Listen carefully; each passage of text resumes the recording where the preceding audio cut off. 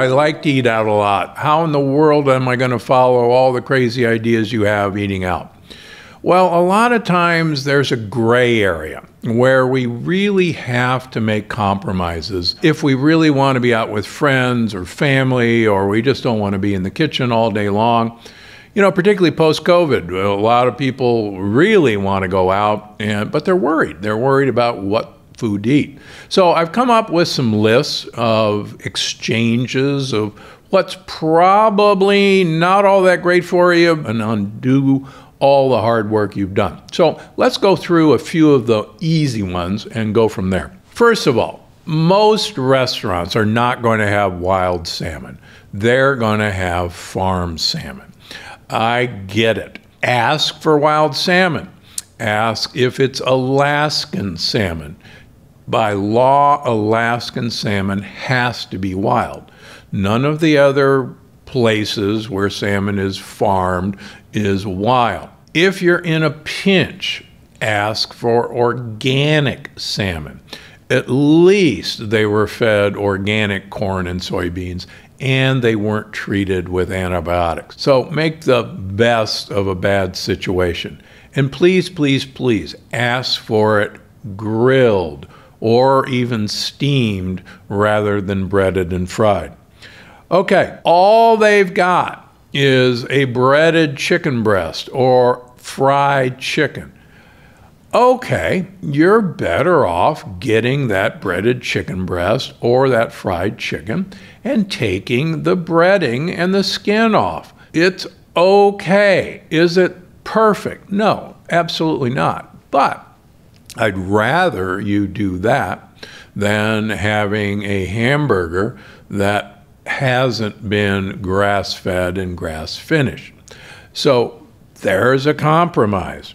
In general, when you're at a restaurant, scan the appetizer list and the side order dishes. You're going to be much safer. Uh, my good friend uh, Jimmy Schmidt, who's won three James Beard Awards, says that chefs get so bored with the main courses that they spend a lot of time and interest in the appetizer area because they can really shine. And I think that's very true.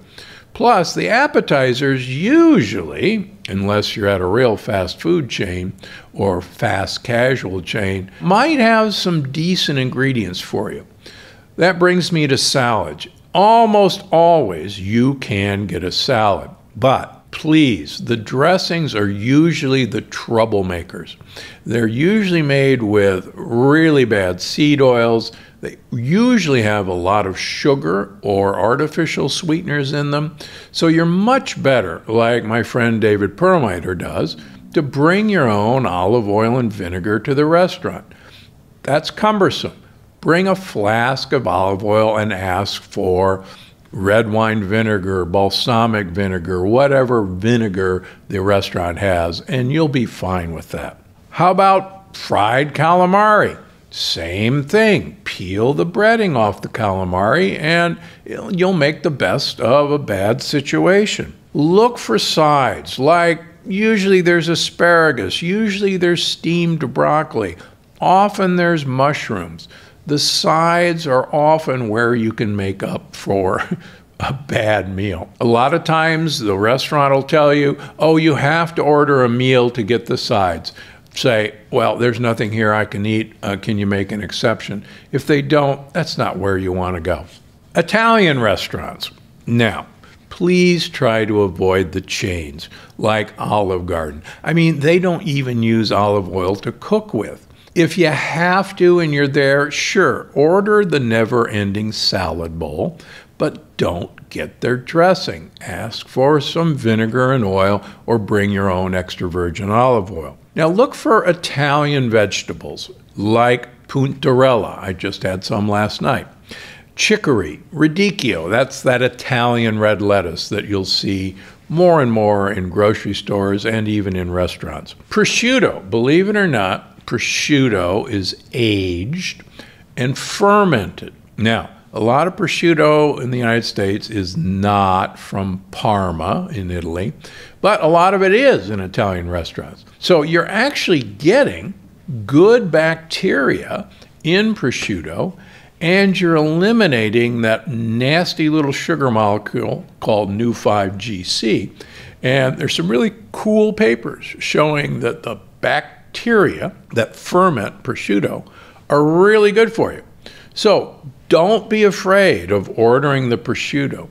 Don't be afraid of ordering true Italian salami and true Italian cold cuts because they're actually good for you, not bad for you. Many Italian restaurants will have grilled fish, and that's always a good option. Okay, steakhouses. A lot of steakhouses now are using or have as an option grass fed, grass finished beef. A lot of them do not. If you see the word corn fed, well, at least they're honest. You know that's what you're getting. Even if that's the case, look for aged beef. It turns out that aged beef, which a lot of really nice steakhouses do use, you'll notice it hanging in a locker and there's mold and bacteria all over it. This aged beef is fermented, and that fermentation actually takes the danger out of the Neu5Gc in those meats that I talk about in Gut Check.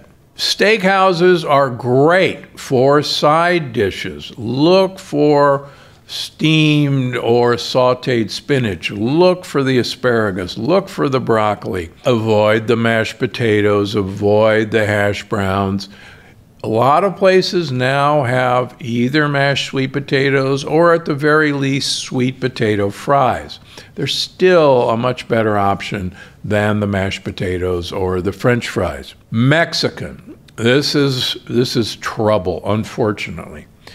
Please avoid the cheese-laden dishes. This cheese is not cheese at all. It's from casein A1 cows. It's not fermented. It really has very little health benefit. They'll always have guacamole. Ask for them with vegetables, with, with broccoli, with chopped broccoli, with jicama as the dipping chips. Please pass on the corn chips. Same way, pass on the tacos unless they're going to give it to you with lettuce wraps. And a lot of Mexican restaurants are more than happy to give you pieces of lettuce as taco wraps or as fajita wraps.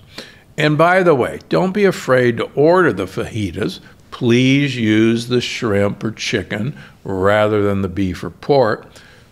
Push the green peppers off to the side, load up on the onions, and put them in the lettuce wraps. You'll be delighted. Look out for the deep fried stuff, like the burritos, like the chili rellenos. Those things are just lectin and bad oil bombs. How about Chinese? Now, this is one of the hardest restaurants to eat okay in. First of all, MSG, monosodium glutamate, Chinese restaurant syndrome, has gotten a really bad rap.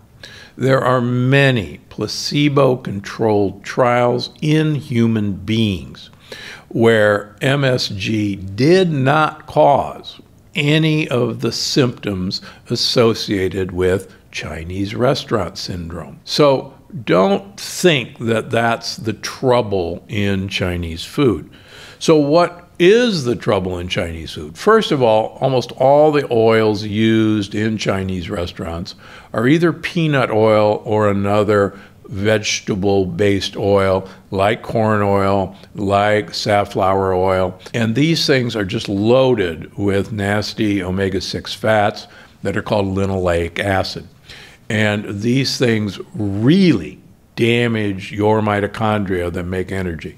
So please stay away from those. The meats, you know, are coated for the most part. Kung Pao chicken is coated with lectin containing flour and then fried in these oils. So, what can you do? Well, in general, the soups are pretty safe.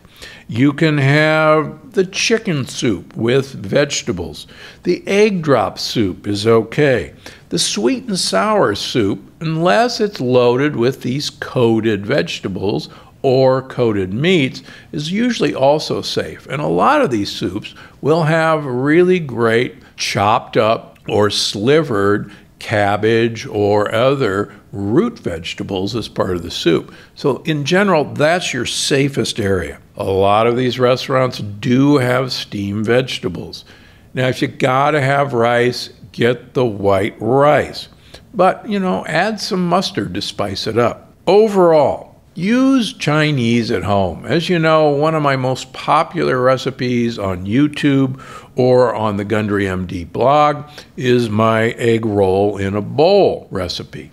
You can have all the deliciousness of an egg roll, make it at home, you can use the meat as Quorn, Q U O R N. You can find it in any vegetarian freezer section of most grocery stores. And you can have yourself a great controlled Chinese meal at home. How about a deli? Well, look for prosciutto, look for made in Italy cheeses. Pecorino is almost always there. Parmesan Reggiano is almost always there. Buffalo mozzarella is always there. These are great options to look for. Now, if you're going to have a sandwich, have it protein style. Get all these sliced salamis, get all these sliced mortadellas, and get all the veggies, get all the lettuce, and then wrap it, have them wrap it in lettuce. They'll do it for you. I guarantee you, they got lettuce in the back. They often have great soups. You know, have chicken soup. Minestrone soup, it's okay, but just watch out for the pasta. Push it to the side. Hey, you can even order matzo ball soup and ask for no matzo. They'll look at you funny, but your broth will be delicious. Uh, stay away from any of the cheese laden soups. All right, how about an American diner with the Chili's, like Chili's and Applebee? Well, walk in there planning on having the salads, but bring your own dressings. Watch out for the beans. They often have sweet potato fries rather than regular fries. Try to avoid the fried stuff. Request things like grilled fish or steamed fish.